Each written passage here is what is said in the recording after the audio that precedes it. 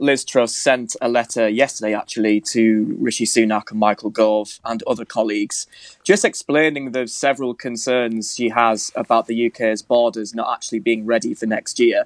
And of course, next year, the transition period ends, we will leave the single market and customs union, and there will be checks and controls on goods going to and from the EU, which don't take place at the moment.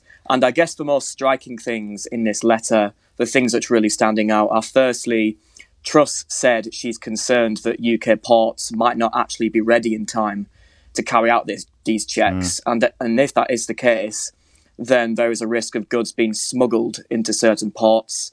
Um, secondly, she's concerned that not only will UK ports not be ready, but the system the government is creating to apply two different tariffs in mm. Northern Ireland won't mm. be ready either. And thirdly, she said there's a risk that the government's plan to kind of phase in checks over six months and give the EU preferential treatment temporarily could actually face a legal challenge at the World Trade uh, Organization. From, yeah, from the WTO, presumably, because of the, the favoured nation legislation. Yeah, that's absolutely right. So I, I, guess, you know, the concerns that Truss has written about this week are things that business groups, I'm sure you've been speaking to, and Hauliers and others have been saying for a number of weeks now.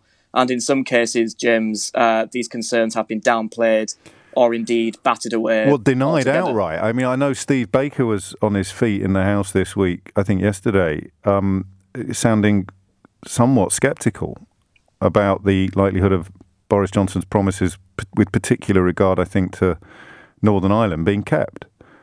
Well, that's right. And if you do speak to business, like the big business groups who are going to be really affected by these changes, they tell you that when they try to get answers from the government on the many, many questions they have about how all this is going to actually work, they really struggle to get any details from the government. There's a real culture of kind of um, keeping the shutters down and not revealing too much information if you can avoid it. But clearly, this letter reveals that there is real concern right at the highest levels um, of, of, the government about what's going to happen at our borders in around six months' time. So, for, for the layman, what is the what, what's the worst case scenario here? If none of these, if all of these concerns turn out to be justified and none of them are addressed, I, I, I think everyone's taken on board the prospect of.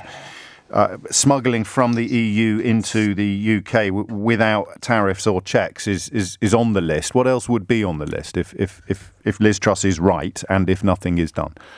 Well, let's let's say, for example, James, that there are ports which aren't ready to carry out checks on goods. It, it just means you've got a, a, crisis in which we don't really know or say for sure what is coming in to the country and, and the other way as well. This country is going to have to perform export checks on things going to the EU.